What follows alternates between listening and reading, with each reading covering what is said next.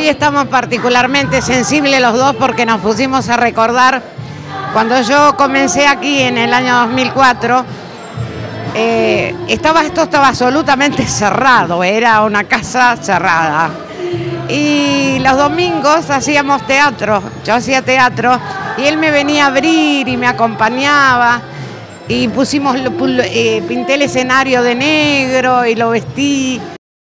Bene, benissimo, una fiesta maravillosa, la estamos viviendo. Eh, creo que 124 años es para, no solo para San Miguel, para todas las instituciones italianas es, es, emoción, porque se sobrevive y no es fácil y les tocó épocas muy tristes. Eh, recuerdo cuando yo comencé acá hace 10 años, 11 años atrás, 11 años atrás, cuando prácticamente iban a cerrar sus puertas Bien, muy bien, acompañando a la sociedad italiana en este cumpleaños, como siempre, ¿no? Este, la sociedad italiana creo que es la institución más antigua del partido, vio nacer acá eh, prácticamente a todas las instituciones. Aparte usted, su apellido lo dice también. ¿no? no, el mío es Lima. Más, sí, pero, Mi comercio es Mesina, eh, sí, en realidad yo soy 50% piamontés. Ah, ahí está, bueno. Mi apellido materno, Cusa. Claro, por eso. sí, sí. Este, lo pasa, mucha gente me identifica con el comercio, entonces me dicen Mesina, Mesina no, pero mi apellido materno es Cusa y ahí mi rama italiana, este, piamontese, es un 50% puro. El comercio de San Miguel presente en usted. Así es, la Cámara principalmente, este, acompañando siempre a, a la sociedad italiana, que realmente es una institución que nos enorgullece.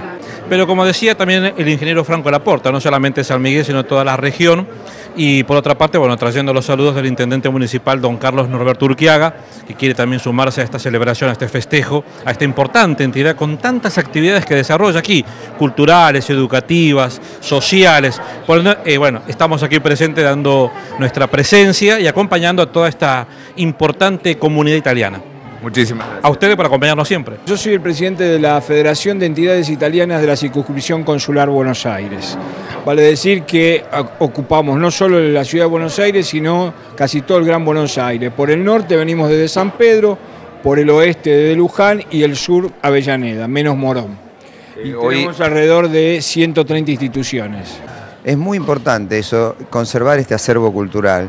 Este, y seguir con la tradición italiana y con otras tradiciones, porque este país es un país de inmigrantes y eso es lo que hay que mantener y cuidar. Me parece que eh, es el mensaje que se puede decir a, toda la gente que nos está escuchando y bueno, eh, hay que seguir en, en esta política y la gente que siga a José próximamente en la institución tiene que seguir en este mismo camino. La comunidad italiana en la Argentina y con José Bianco ahora eh, ha crecido institucionalmente y eso nos fortalece a todos y tenemos que colaborar.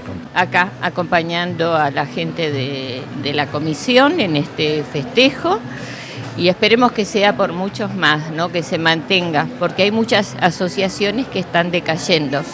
Así que esperemos que no sea el destino de esta, que se pueda mantener, sobrevivir y progresar.